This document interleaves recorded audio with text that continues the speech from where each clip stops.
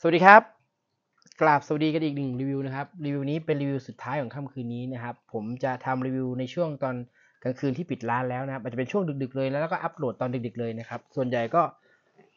จะทำรีวิวในช่วงที่ไม่มีลูกค้าเข้าร้านนะครับ เพราะตอนกลางวันเนี่ยผมจะตอบแชทนะครับ ซ่อมปืนทำอะไรหลาย ๆ อย่าง ซึ่งรีวิวไม่ได้เลยต้องใช้เวลาที่ร้านเงียบสงบที่สุดนะครับ F 6 6 2 0รีวิวตัวสุดท้ายของค่ำคืนนี้ M16A4 Golden Eagle นะครับ เมื่ออาทิตย์ที่แล้วผมทำรีวิวอัปเดตสินค้าที่มาใหม่ไปแล้วนะครับ ว่ามีอะไรมาบ้างแต่ละรุ่น และในคลิปวิดีโอนั้นก็มีเจ้าตัวนี้อยู่ด้วยนะครับ และตัวนี้ก็เป็นอีกหนึ่งตัวนะครับ M16A1 เรารีวิวไปเมื่อกี้ ซึ่งก็เป็นตัวขายดีที่สุดตัวหนึ่งของปืน Golden Eagle นะครับ และตัวนี้ก็เป็นอีกหนึ่งรุ่นที่ได้รับความนิยมเช่นเดียวกัน เพราะว่า มันเป็นชุดหน้ารางที่ใส่อุปกรณ์เสริมได้ โมเดลหน้าตาเหมือนกับ M16A1 ทุกอย่าง แต่จะมีส่วนไหนที่แตกต่างกับ M16A1 บ้าง เดี๋ยวเรามาไล่กันครับ มาครับ อุปกรณ์ที่ให้มาจากโรงงานตัวปืน 1 แล้วนะครับ แมกกาซีนนะครับตัวกระสุนนะครับ 200 นัด ตัวปรับศูนย์หน้า แล้วก็ตัวปั่น magazine นะคู่มือ แล้วก็มี rail cover นะครับ ประกับกันความร้อนเอาไว้ใส่ตรงรางนะครับ 4 ชิ้น ตัวแบตเตอรี่และตัวชาร์จแบตนะครับ จะอยู่ตรงนี้นี่นี่ครับนี่ตัวชาร์จแบตแบตเตอรี่จะเป็นขนาดนี้นะครับ 8.4 โวลต์ 1,100 มิลลิแอมป์แท้ล้างทำความสะอาดลำกล้อง หรือเอาไว้ดันเวลาลูกติดและบับเบอร์ในกล่องหมดแล้วนะครับ มีแค่นี้ อะ โอเค เรามา ไล่เรียงกันตั้งแต่ปลองรถแสงไปตามเดิมนะครับ ตามเดิม อุปกรณ์ที่ให้มาอย่างที่อธิบายไว้ก็คือได้ตามนี้เลยนะครับไอ้เจ้าอุปกรณ์พวกนี้เนี่ยมันคือพูดตรงๆว่ามันพร้อมเล่นจากโรงงานมาเลยมีแบตเตอรี่มีตัวชาร์จมาให้มีลูกกระสุนมาให้แต่ลูกกระสุนน้อยมาก ดังนั้นราคาปืนวันนี้ 5,300 บาทนะครับราคานี้ยังไม่รวมค่าจัดส่งนะครับ แล้วก็ยังไม่รวมลูกกระสุนอีกสักถุงหนึ่ง ความหมายที่ผมกำลังจะบอกหลังจากนี้ไปก็คือ 5,300 บาท เพื่อนๆนำมาบวกกับค่าขนส่ง กล่องยาวๆ ใหญ่ๆ แบบนี้เนี่ยค่าขนส่งเคอรี่มี 350 แน่ๆนะฮะก็คิดอยู่ประมาณ 250 ลูกกระสุน 1 ถุง 4,000 นัด เราคิดอยู่ที่ 250 นะครับ เพื่อนๆเอา 5,300 บาทบวกกับ 500 ตก 5,800 บาท ชุดพร้อมเล่นรวมส่ง อันนี้คือราคาวันนี้นะครับ แต่ใครที่ดูรีวิว อาจจะหลังจากนี้ไปอีก 1 ปี 2 ปี 3 ปี 4 ปี แล้วราคามันมีขยับขึ้นมาตามเซตราคาที่ผมส่งไปในแชทอาจจะเป็น 5,500 บ้าง 5,800 บ้าง 6,000 บ้าง ก็ต้องขยับราคาตามพศที่ของเข้ามานะครับ แต่วันนี้เป็นรีวิวทดสอบขนาดน้ำหนักความเร็วกระสุนณเวลานี้ ราคาวันนี้ยัง 5,300 บาทนะครับก็คือชุดพร้อมเล่นรวมส่งอยู่ที่ 5,800 แล้วอุปกรณ์ที่ควรจะจะแนะนำนะครับ อีกอย่างหนึ่งก็คือแบตเตอรี่ลิเธียมโพลิเมอร์กับตัวชาร์จ ที่เป็นชุด ดิโพแบบนี้นะครับ วันนี้เราจะนำเสนอแบตอยู่ 2 แบบที่อยากจะแนะนำให้เพื่อนๆซื้อติดไปด้วยนะครับ หรืออาจจะซื้อในอนาคตก็ได้ แบบตัวนี้ก้อน 850 ก้อนตัวนี้ 650 ตัวชาร์จตัว 400 คิดอยู่ 350 นะครับ ก็เอาง่ายๆว่าเมื่อกี้ 5,800 ชุดพร้อมเล่นรวมส่งจากโรงงานที่มีแบตเตอรี่กับตัวชาร์จพร้อมจากโรงงานนะครับ ถ้าเพื่อนๆเอาชุดนี้เพิ่มก็จะยิงมันขึ้นมาอีกนะครับ 1,100 มิลลิแอมนะ กับตัวชาร์จคิดอีกพันเดียวนะบวกเพิ่มไปอีกพันเดียว ถ้าเกิดใครอยากได้แบตที่เป็นพันหกเยอะกว่าแบตที่มาจากโรงงานกระแสไฟดีกว่า ยิงสนุกกว่า ก็เป็นแบตพันหกเพิ่มอีก200ก็จะเป็นชุดละพันสองอย่างนี้นะครับอะเอาตัวนี้วางไว้ตรงนี้ก่อน เรามาไล่ตั้งแต่ปลอกลดแสงของตัวปืนปลอกลดแสงของตัวปืน จะอยู่ตรงนี้เขาจะให้จุก safety มานะครับ แล้วก็ออก ตรงนี้ผมอยากจะบอกอย่างหนึ่งเพราะตอนนี้เราฮิตเล่นยิง tracer ลูกเรืองแสงกัน ใครที่อาจจะซื้อไปยิง tracer ลูกเรืองแสง ตัวยี่ห้อ E&C Golden Eagle หรือ Specna Arms ส่วนใหญ่มันจะมีปลอกเขาเรียกว่าหกเหลี่ยมล็อกปลอกลดแสงอยู่ตรงนี้นะครับให้เพื่อนๆถอดตัวนี้ออกก่อนนะครับถ้าจะใส่อุปกรณ์พวกนั้นให้สังเกตปืนของคุณดีๆที่บ้านอาจจะเป็นยี่ห้ออื่นก็ได้นะทำไมมันหมุนไม่ออกนะครับ ต้องถอดหกเหลี่ยมออกก่อนถึงจะหมุนเอาปลอกลกแสงออกได้นะครับอะอันนี้ก็เป็นปลอกลกแสง M4 นะฮะ M16 มา M16 M4 ส่วนใหญ่ใช้ปลอกลกแสงเดียวกันหมดท่อเป็นท่อยาวนะครับ ท่อในยาวเท่ากับ M16A1 นะข้อแตกต่าง จาก M16A1 ของปืนรุ่นนี้คือ M16A1 เป็นประกับสามเหลี่ยม ตัวนี้เป็นประกับสามเหลี่ยมตัวนั้นเป็นประกับ ABS พลาสติกนะครับ ตัวนี้เป็นประกับอลูมิเนียม ประกับหน้ารางยาว 12 นิ้วนะครับ มีจุดห้อยสายอยู่ตรงนี้กับตรงด้านท้ายนะครับ เอาไว้ห้อยสายสะพายนะครับ แล้วก็ศูนย์หน้าเป็นสามเหลี่ยม มีเคยมีคำถามถามว่าถ้าถอดศูนย์หน้าออก ถอดศูนย์หน้าออกไปเลยนะ แล้วชุดหน้ายังจะอยู่ดีไหม คือ มันมีเดลต้าลิงหน้านะครับแหวนรองหน้าตัวนี้ติดกับศูนย์หน้าถ้าถอดออกปุ๊บชุดหน้าก็จะใส่ประกอบเป็นปืนไม่ได้ ดังนั้นถ้าจะเปลี่ยนชุดหน้าก็เปลี่ยนเป็นชุดหน้ารางยาว ล็อกกับเดลต้าลิงตรงนี้เท่านั้นนะครับความหมายคือเปลี่ยนแปลงอะไรกับชุดหน้าตัวนี้ไม่ได้แล้วนอกจากจะยกออกใหม่ทั้งหมดแล้วก็ใส่เป็นชุดหน้ายาวเข้ามานะครับ ชุดหน้าของตัวนี้เป็นชุดหน้ามีรางรอบทิศสี่ทิศทางนะครับเป็นรางขนาด 20มิลพิคาทินี่สามารถถอดขออนุญาตถอดแม็กก่อนนะ สามารถถอดออกได้นะครับ เหมือน CQB เมื่อวานเลย แล้วตรงนี้สังเกตดูนะครับ เนื่องจากมันเป็นรางสองชิ้น ประกบประกบหน้าหลังแบบนี้นะครับอ่าเป็นรางแบบนี้สองชิ้นประกบกัน คือถ้าให้ผมถอดออกมาให้ดูเนี่ย F16A1 ถอดออกมาก็เป็นแบบนี้นะครับ เป็นท่อแบบนี้ ดังนั้นเราไปเอาประกับสามเหลี่ยม F16 มาเสียบนะครับ ถ้าเรามีซื้อแยกมามาเสียบก็สามารถใส่ M ประกับ F16A1 หรือ A2 ได้ เพราะว่าขนาดทุกอย่างเท่ากันหมด เพียงแต่ตัวนี้เป็นราง นะครับ ทีนี้อีกคำถามหนึ่งสำหรับรุ่นตัว F16A4 F6620 ตัวนี้กับ F6624 นะครับ หรือที่เรียกกันว่ารุ่น CQB นะครับ ตรงนี้มันจะใช้ อ่าเดี๋ยวขออนุญาตใส่กันนะทางซ้ายและขวา เวลาใส่ก็ต้องกดตัวนี้เข้ามานะครับ เดี๋ยวใส่ผมอธิบายให้ฟังอีกทีนึงอ่าเพื่อนๆ เดี๋ยวนิดนึงนะ สังเกตตรงนี้ดีๆ เขี้ยวตัวนี้ ซ้ายและขวาตัวนี้นะครับ มันจะ มันจะต้องลงร่องตรงนี้ ร่องตัวนี้นะครับ ร่องดอกจันตัวนี้นะครับ ทีนี้เวลามันลงไปเนี่ยครับเพื่อนๆมันจะไม่แน่นความหมายคือมันจะขยับได้นิดนึงอย่างนี้เห็นไหมฮะพอลงไปเสร็จปุ๊บมันมีระยะของมันอยู่ครับ นี่นะได้ยินเสียงอยู่เนาะอ่าทีนี้ เวลาใส่ตัวนี้เข้ามา ล็อกกลางล่างนะครับอันนี้ต้องบอกไว้ก่อนเพราะว่ามีคำถามเยอะมากเลยว่า ตอนที่ขายไปในล็อตก่อนๆเนาะเขาจะแชทมาถาม ต้องใส่ให้ลงล็อกก่อนนะครับ อ่า ประมาณนี้ แล้วก็กดครับ กดเหมือนกัน นี่ ล็อก เนี่ย ตัวนี้เห็นไหมมันเป็นตัวล็อกราง ทีนี้พอเราประกอบเข้ามาแบบนี้เนี่ย ตรงนี้นะ เห็นไหม มันจะขยับแบบนี้ได้ เนี่ย ทุกตัวเลย มันจะดูเหมือนมันไม่ค่อยแน่น จะดูเหมือนไม่แข็งแรงนะครับ อันนี้พูดตรงๆเนาะ เป็นเรื่องปกตินะครับ มันคือของเล่นนะฮะ มันจะมีช่วงจังหวะขยับได้นิดนึง เป็นเรื่องปกติของเขาดังนั้นอย่าไปซีเรียสนะครับ แต่มีคำถามถามมาว่าปืนมันเป็นอย่างนี้เหรอ มันไม่แน่นอย่างนี้เหรอ หรือว่ามันไม่ดีเหรอครับ มันถึงเป็นอย่างนี้ มันถึงหลวมแบบนี้ มันเป็นเรื่องปกติครับที่เป็นรางสองชิ้นแล้วมันสามารถถอดออกได้ อันนี้จบในปัญหา เออจบในคลิปนี้นะ อะ ถัดมา นะครับ หูหิ้วของตัวปืน เป็นหูหิ้ว M4 แล้วนะครับ สามารถหมุน หมุนหมุน ล้วถอดออกได้ เราจะเจอกับรางที่อยู่ข้างบน ถ้าเพื่อนๆต้องการใส่เรดดอทใส่สโคปใส่อุปกรณ์แต่งก็เอามาวางลงตรงนี้ได้เลย แต่ใครที่นะครับต้องการใส่รางบนหูหิ้ว M16A1 ก็ใส่รางบนหูหิ้วได้นะครับรางบนหูหิ้วรางบนหูหิ้วเมื่อวานเรารีวิวตัว MCA1 นะครับ MCA1 F6604 กับ 6 FB6604 ไป ซึ่งผมพูดถึงรางหูหิ้ว และมีวันนี้มีคนคอมเมนต์มานะครับ เดี๋ยวขอญาตมาหาแป๊บเจอละ ไอ้รางบนหูหิ้วตัวละ 350 บาท ผมหยิบได้แล้วนะเพื่อนๆรอแป๊บหนึ่งนะกล้องกำลังซูมที่ปืนอยู่อะรางบนหูหิ้วเป็นลักษณะแบบนี้ครับนี่รางรางเสริมรางบนหูหิ้ว อะมีคนถามมาอะลืมทำให้ดูในคลิปนี้เลย เป็นลักษณะแบบนี้ คือเราถอดหูหิ้วออก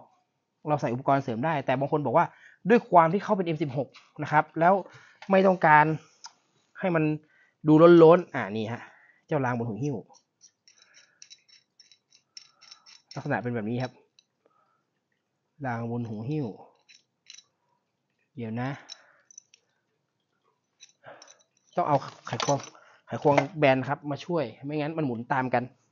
ไขควงแบนช่วยก่อนอจิ้มลงไป จิ้มลงไปเสร็จปุ๊บ หมุนครับ หมุนออกนี่มันเป็นเป็นน็อตแบบนี้ครับ ทีนี้ใส่อย่างนี้ เดี๋ยวถูกด้านแล้วนะ อ่านี่ครับ ถูกด้าน อันนี้ถูกด้านนะ ถ้าใส่ผิดด้านจะเป็นอย่างนี้ มันจะวิ่งลง นี่ครับ ใส่ให้ถูกก็จะเป็นอย่างนี้ เนี่ยนะครับ รูมันอยู่ตรงนี้ครับเพื่อนๆครับ รูเนี่ยรูเนี่ยรูเนี่ยเนี่ยนี่นี่นี่เนี่ยนะครับสักครู่นะอะประมาณนี้นะครับ ก็พอใส่เสร็จปุ๊บเราก็ใส่ตัวตัวเมียให้เขาคลิปนี้ยาวนิดนึงนะว่ามีคนถามมาเยอะเลยตัวนี้ M16A1 ครับเพื่อนๆก็เป็นอีกหนึ่งรุ่นที่ใส่รางบนถุงหิ้วแบบนี้ได้เหมือนกัน จับมันนิดนึงแล้วก็หมุน แบบนี้เห็นไหมประมาณนี้นะครับ เนี่ยพอใส่รางบนถุงหิ้วเราก็สามารถติดอุปกรณ์เสริมเอาเรดดอทเอาสโคปนะพอเราวางบนบนศูนย์ตัวนี้นะครับเพื่อนๆครับ ศูนย์หน้ากับตัวศูนย์ศูนย์หน้ากับศูนย์หลังนะครับ ตรงนี้มองตรงนี้นะ มันจะมีรูนะครับรูที่ เดี๋ยวให้กล้องจับหนึ่งรูที่สามารถมองลอดไอ้รางบนหูหิ้วเนี่ยมาหาศูนย์หน้าได้อยู่ คือศูนย์เดิมก็ยังใช้ได้ แต่รางบนหูหิ้วที่เป็นศูนย์บนก็สามารถติดอุปกรณ์เสริมได้ กล้องพอมองเห็นอยู่ใช่ไหมฮะ อ่าโอเค ประมาณนี้ คือเมื่อวานรีวิวแล้ว ในรุ่นของ M4A1 มันใส่รางหูหิ้วแบบเนี้ยสามารถใส่รางแบบนี้ได้ทุกตัวนะครับ M4A1 ก็ได้นะ F6604 กับ F6624 หรือ F6618 ตัวที่ผมทำรีวิวไปเมื่อกี้ ก็สามารถใส่รางบนหูหิ้วแบบนี้ได้เช่นเดียวกันนะฮะนี่คือของแต่งอะมีคนถามมาว่ามันใส่ยังไงอ่าโอเค พอจะเห็นภาพแล้วเนาะคลิปนี้อาจจะยาวนิดนึงนะฮะในเรื่องของรางบนหูหิ้วถอดออกได้หรือใส่เสริมได้ ตัว body โลโก้ก็จะเป็นโลโก้ Colt นะครับมี serial number ของตัวปืนอยู่ Make in USA ตัวนี้เป็นตัวอ่าเขาเรียกว่าตัวค้างลูกเลื่อนนะครับหรือค้างโบใส่มาเพื่อให้ครบองค์ประกอบนะครับสำหรับตัวปืน body ABS นี้ใช้งานอะไรไม่ได้นะครับ ปรับโหมดมี safe semi full auto นะครับ grip มอเตอร์มอเตอร์มอเตอร์จะอยู่ตรงนี้เวลายิงไปมันจะอุ่นๆร้อนๆเรื่องปกตินะครับ ถ้าร้อนมากๆก็พักก่อน ตัวนี้คือตัวตั้งตูดมอเตอร์ อันนี้จะเป็นเรื่องละเอียดของช่างหรือการซ่อมบำรุงแล้วแหละนะครับพันท้ายเป็นพันท้ายเต็ม M16 นะฮะ M16 A1 A2 A3 A4 ถึงตัวนี้นะ A5 ยังไม่มีนะ ใช้ท้ายแบบนี้หมด แต่ถ้าเป็น ของยี่ห้อ Golden Eagle นี้จะมีตัวห้อยสายสะพายหูช้าง ต้องเป็นหูช้างแบบปลดเร็วกดแล้วเสียบลงไป สามารถห้อยสายสะพายได้จากตรงนี้นะครับ มีทั้งฝั่งซ้ายและฝั่งขวานะครับ ตัวนี้นะ แล้วก็ตัวของคันรั้งอะมามาดูคันรั้งคันรั้งคันรั้งคือตัวนี้เวลาดึงคันรั้งนะครับแผ่นคัดปลอกมันจะเปิดออกเอาใหม่นะ เวลาปิดก็กดกดแก๊ปอย่างนี้นะ เวลาเปิดปึ๊บออกมา มันเอาไว้เปิดเพื่อปรับ hop up การปรับ hop up คืออะไรการปรับ hop up คือการ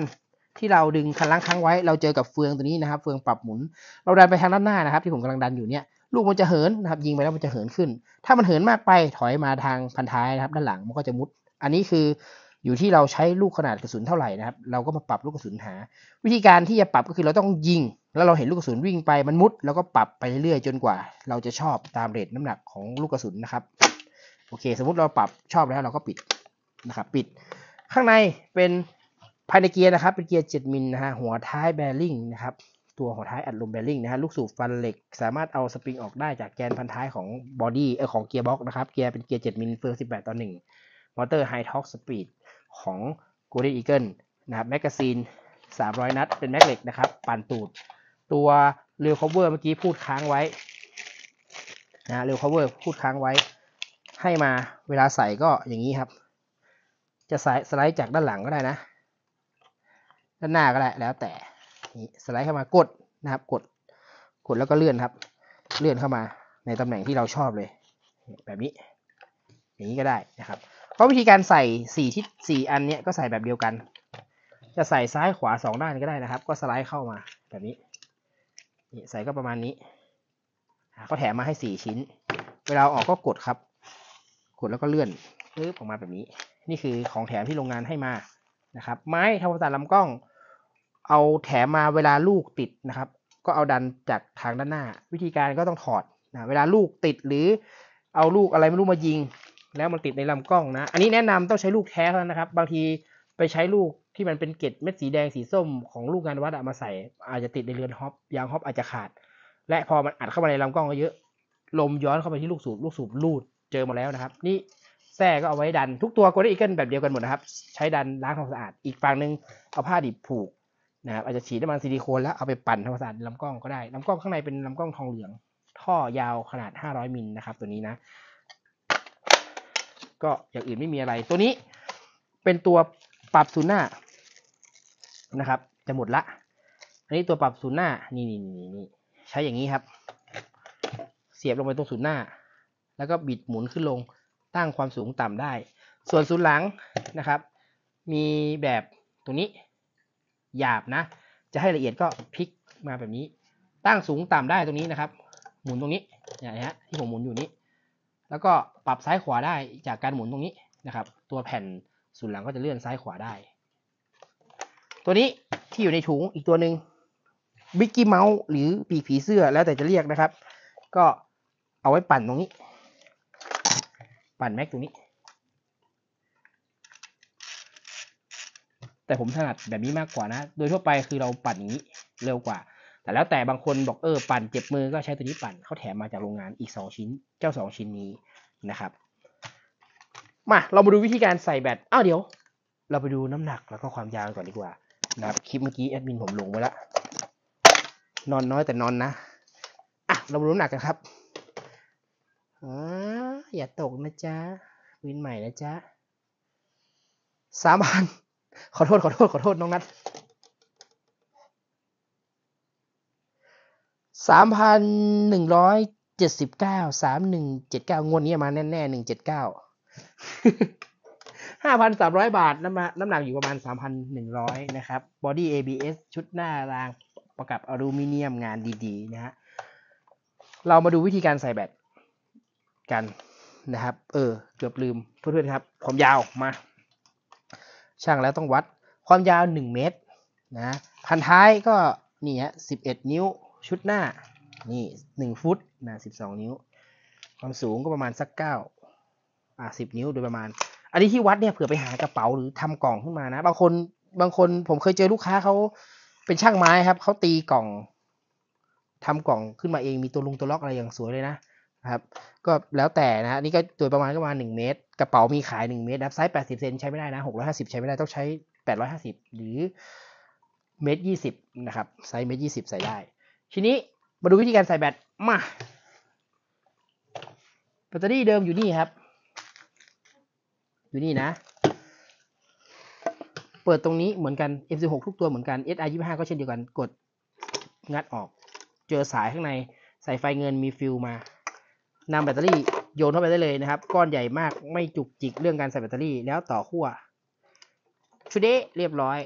ใส่เข้าไป ยัดเข้าไปเลย ปิด ปิดนะดันดีๆนะดันดีๆแล้วปิดแล้วล็อกแก๊ปอย่างนี้อะเรามาฟังเสียงกันนะครับขออนุญาตปลดแม็กเคลียร์ก่อนโอเค นี่คือแบตเตอรี่เดิมนะครับ เสียงมันจะจิ๊ดๆๆๆอย่างนี้นะ เดี๋ยวผม วัดความเร็วกระสุนพร้อมกับ rate ball เจ้าแบตเตอรี่ตัวนี้ แล้วเดี๋ยวเรามาลองใช้ลิเธียมโพลิเมอร์ที่ผมแนะนำกันดูนะครับคือจ่ายเพิ่มอีกพันสองอย่างเงี้ยก็จะได้แบตจี๊ดจี๊ดกับตัวชาร์จ วิธีการเล่นต่อไปนะครับ เปิดฝาตรงนี้นำลูกกระสุนที่มีในถุงกรอกลงตรงรูนี้ จะบรรจุได้อยู่ประมาณ 300 นัดนะครับแมกกาซีนหนึ่งก็ประมาณ 300 นัด พอบรรจุแม็กเข้าไปเสร็จปุ๊บนะครับบรรจุแม็กเข้าไปเสร็จปุ๊บ เต็มนะเต็มนะ ก็ ปิดฝาปั่นที่ตูด ลูกกระสุนจะขึ้นตรงนี้นะครับ นี่ ไอ้เจ้าตัวนี้ใช้อย่างนี้แหละ อันนี้แหละมีประโยชน์แล้วแหละ ปั่นนะครับ ปั่น แต่โดยทั่วไปผมก็ไม่ค่อยถนัดนะ ตัวนี้ โอเค เรามาดูความแรงกันนะครับ ปืนอยู่ในตำแหน่ง safe นะครับ เสียบแม็กเช็คตบมาแม็กเป็นแม็กเหล็กนะทำตกได้นะอะดู semi นะครับ ป้งเขาให้สามร้อยเจ็ดสิบสามป้งเขาให้สามร้อยเจ็ดสิบเจ็ด full auto rate แปดถึงเก้าบอลสามร้อยเจ็ดสิบเก้า rate สิบบอลสามร้อยแปดสิบสองเอาครับ ปืนอยู่ตำแหน่ง safe นะ ต่อไปเปลี่ยนแบตเตอรี่เป็น